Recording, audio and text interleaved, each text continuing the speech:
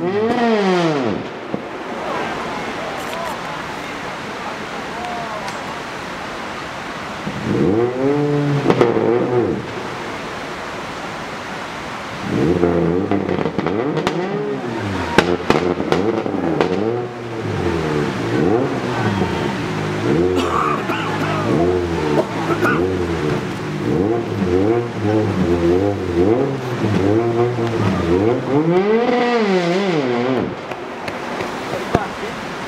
Occhio ragazzi che arriva anche giù basso, eh!